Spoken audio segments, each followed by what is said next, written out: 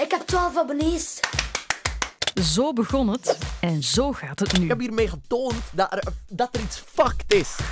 Yo YouTube, hij zit hier. Want die 12 abonnees werden er duizend. Hij zit hier, hij zit hier. Duizend werden er honderdduizend. Hij zit hier, hij zit hier, hij zit hier. En tegenwoordig weten zelfs mensen die zich de jaren 90 nog kunnen herinneren wie Acid is. Kijk, dat is die een acid. Zit hier, zit hier, zit hier, zit hier. Je moet wel 888 even opzetten. Hè?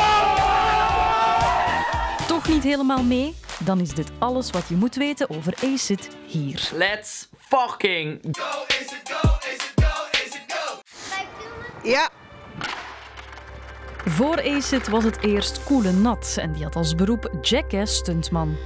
Hallo kijkers. Ehm, ja, jullie kennen me waarschijnlijk niet. Ik ben Nathan van der Guins. In mei 2013 horen we hem voor het eerst onder de alias die we kennen. Ik was zo jong toen ik deze naam gekozen heb voor mijn YouTube-channel dat ik niet wist dat Acid was. Acid werd dus Acid. In het begin post hij vooral video's waar hij computergames speelt en hij zet ook zijn eerste stappen als vlogger. En dit ga ik proberen zo veel mogelijk te doen. Daarmee bedoel ik één keer om de twee, drie dagen. Dan houdt hij vol en hij begint ook met andere soorten video's te experimenteren. Is uw man ook een beest in bed? ja, nee, nee, nee. We gaan erover als echt de badass. Let's go. Ik ga mezelf niet goed praten in deze video. Goedemorgen wereld! Om dan drie jaar en 338 video's later een belangrijke mijlpaal te bereiken. Ik ben echt trots dat ik de eerste Belg ben die fucking 100.000 subs haalt. Vooral ook nog een shout-out doen aan mijn school. Frank! School! Ja, school. Hoe valt dat te combineren met de voltijdse hobby van de YouTuber? Moeilijk, zo blijkt. Dit rapport is het slechtste rapport dat ik ooit heb gehad. Terwijl zijn kijkcijfers op YouTube stegen, daalden zijn punten. Dit is gewoon nul. Staat gewoon een nul op mijn rapport. En wanneer zijn video's steeds vaker botsen met het schoolreglement, gebeurt het onvermijdelijke. Ik ben van school afgestuurd. Dag school. Het was ehm, leuk. Ook vloggers, de sterren tegenwoordig van het internet, moeten zich aan regels houden. Dat heeft Acid alvast ondervonden. Hij zet jongens en meisjes aan om de bankkaart van mama of papa te stelen. Je kan betalen met een gestolen creditcard van je ouders. Je kan betalen met PayPal die je ook gestolen hebt van je ouders. Ik denk niet dat hij dat echt serieus meent of zo.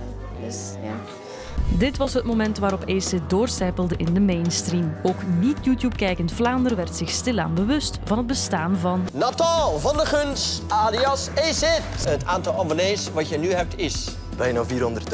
Ja, hè? dat mag u voor applaudisseren.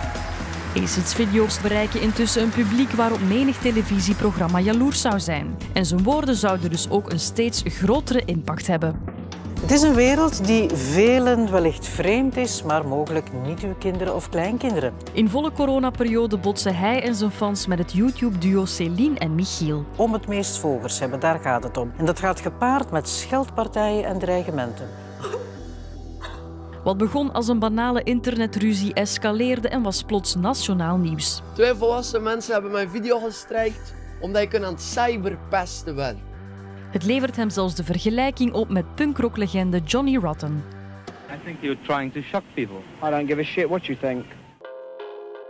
Maar als er één post is die Acid echt kopzorgen gaf, is het wel deze. Yo, YouTube, Acid hier. Welkom bij deze nieuwe video. Vandaag een speciale video, man. We gaan mensen exposen. Omdat de leden van studentenclub Reuzegom volgens hem te licht gestraft werden voor hun aandeel in de dood van Sanda Dia, noemt hij hen in een 12 minuten durende video bij naam en toenaam. We gaan hen cancelen. Bij die namen ook gewezen leden van hen die niet terecht stonden op het proces. Het levert hem een dagvaarding op voor onder meer elektronische belaging, laster en eeroof. Fuck Reuzegom! En justice voor Sanda Dia, man! In de rechtbank in Brugge is YouTuber Acid veroordeeld tot een celstraf van drie maanden met uitstel en een boete van 800 euro. Het is vreselijk. Ik ga dit voor de rest van mijn leven meedragen, maar ik zie dat niet als iets slecht. Ik ben trots op wat ik heb gedaan. Acid voor de ene een volbloed entertainer, voor de andere een onruststoker. En wellicht is het wel mede dankzij de controverses dat hij relevant blijft. First of all, I want to thank the Academy. Maar af en toe wil hij misschien toch opnieuw gewoon cool en nat zijn. 12 abonnees. En één iemand die ik niet ken. Die wil ik bedanken. Applaus.